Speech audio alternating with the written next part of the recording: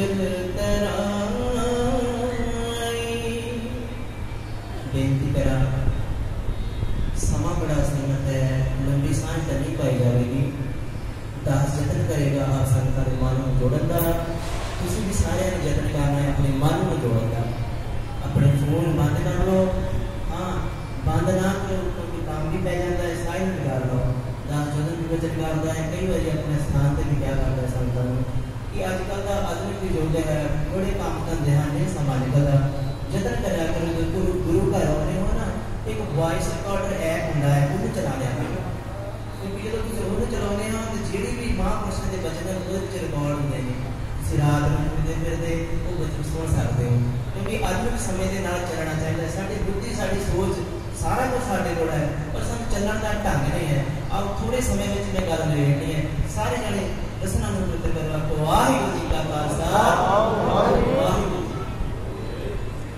ਹਰ ਕਾ ਨਾਮ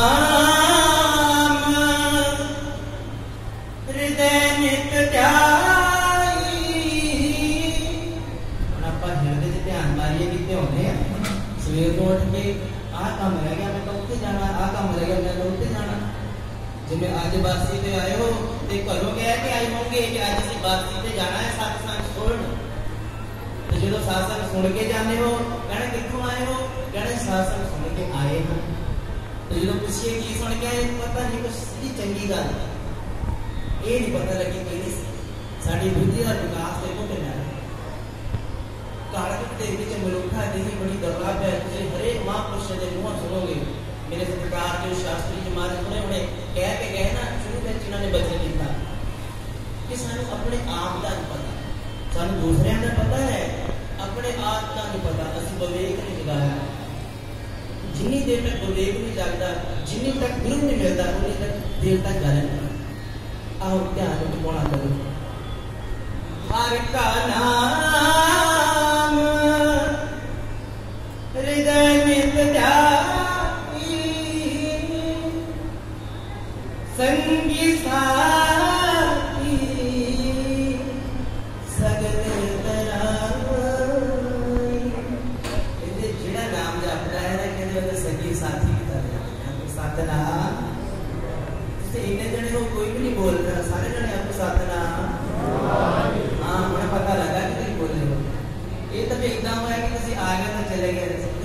ਵਿੱਚ ਔਰਿਆਂ ਦੇ ਵਿੱਚ ਲੈ ਕੇ ਜਾਏ।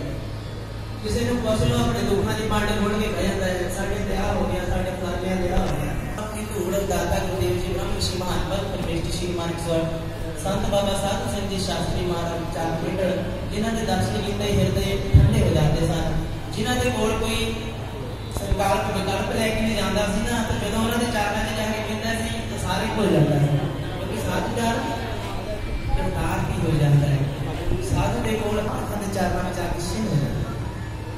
इस करके किन्हने कोण स्थान गुरु है डोरी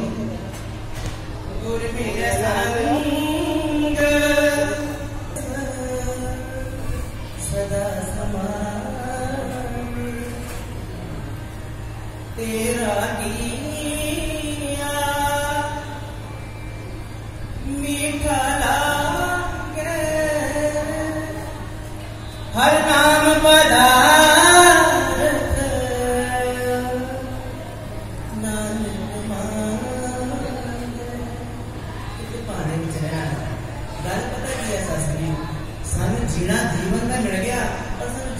कला नहीं है जीना कितना है? मैं समझा कितना है? जितना मान लो किसी सतार देती गटार देती गटार तो है सतार तो है पर उनको तो संगीत नहीं है। क्यों? क्योंकि तो गुरु नहीं है जानकारी नहीं है चलना कितना है। इसी तरह जीवन में मिल गया है तो इस जीवन में जीवन की कला गुरु भूले मार्ग जिन्हें बताया ऐसा गुर गुरु कृपा करना नहीं समा का मतलब बड़ा प्यार चल रहा है? जिस सारे जानते हो। मापा दूसरे को रे हस हस के कल्ला करता है, रात को रोता है, कमरे कल्ला। क्यों? क्योंकि उसकी औलाद कहने की ज़िंदगी है। गाना काटती है। ये देख हो ना कि उसकी औलाद का देना आजकल। आजकल हम किसी कितने शरीर बैठे हो ताड़े में कोई नहीं दिख रहा जेड़ा बिया 18 साल का तो बैठा हो। सारे बिया तो ऊपर वाले बैठे हैं, चार के तो ऊपर वाले बैठे हैं। है किसी परीक्षा है किसी प्रयास ਬੱਚੇ ਤਾਂ ਤੁਹਾਡੇ ਵੀ ਸਾਰਿਆਂ ਦੇ ਹੋਣਗੇ ਪਰ ਖਿੱਚ ਨਹੀਂ ਹੈ ਸਿਰਫ ਇਹ ਗੱਲਾਂ ਬਜ਼ੁਰਗਾਂ ਤੱਕ ਰਹਿ ਗਈਆਂ ਪਹਿਲਾਂ ਦੇਸੀ ਘੀ ਖਾਂਦੇ ਸੀ ਕਿ ਦਵਾਈ ਹੈ ਦੇਸੀ ਘੀ ਤੇ ਅੱਜ ਕੱਲ੍ਹ ਡਾਕਟਰ ਕੋਲ ਚਲ ਜੀਏ ਤੇ ਪਹਿਲਾਂ ਗੱਲ ਹੀ ਤੋਂ ਸ਼ੁਰੂ ਕਰਤਾ ਹੈ ਡਾਕਟਰ ਕਿ ਘੀ 40 50 ਸਾਲ ਪਿੱਛੇ ਜਾਓ ਤੇ ਘੀ ਇੱਕ ਦਵਾਈ ਹੁੰਦੀ ਸੀ ਤੇ ਅੱਜ ਦੇ ਸਮੇਂ ਵਿੱਚ ਡਾਕਟਰ ਕਹਿੰਦਾ ਬੰਦ ਕਰਾਉਣਾ ਹੈ ਕਿੱਥੇ ਕੀ ਸਾਡੀਆਂ ਸਿਹਤਾਂ ਕਿੱਥੇ ਨੇ ਜੇ ਸਾਡੀਆਂ ਸਿਹਤਾਂ ਠੀਕ ਹਨ ਤਾਂ ਸਾਡਾ ਮਾਨਸਿਕ